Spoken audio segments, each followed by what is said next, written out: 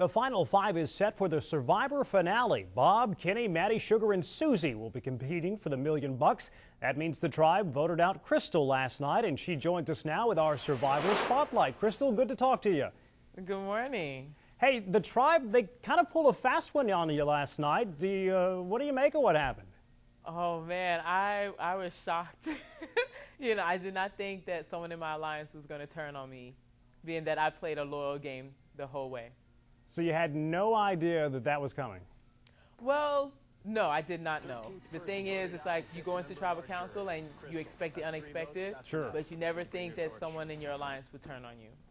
Well, hindsight's 2020, but had you voted for Matty last week and kept Corinne, do you think things would have gone differently last night? Oh, things would have definitely gone differently last night. Number one, I wouldn't be sitting here right now.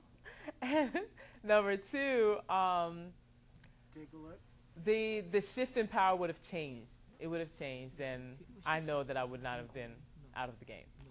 Well, Bob's a pretty strong competitor, but Sugar appears to be the mastermind in the game from what we're seeing on the TV. And what's the real story between these two?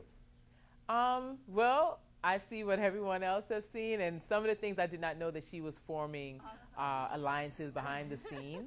And you got it right, the nail on the head. I mean, Bob is the physical threat, but Sugar is the obvious uh, mastermind in the game this season.